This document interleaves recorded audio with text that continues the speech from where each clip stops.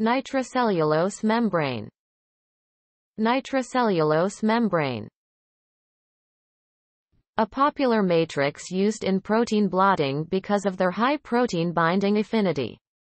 Compatibility with a variety of detection methods, chemiluminescence, chromogenic, and fluorescence, and the ability to immobilize proteins, glycoproteins, or nucleic acids. Nitrocellulose, cellulose nitrate, is a highly flammable compound formed by nitrating cellulose. Through exposure to a mixture of nitric acid and sulfuric acid. One of its first major uses was as guncotton, a replacement for gunpowder as propellant in firearms.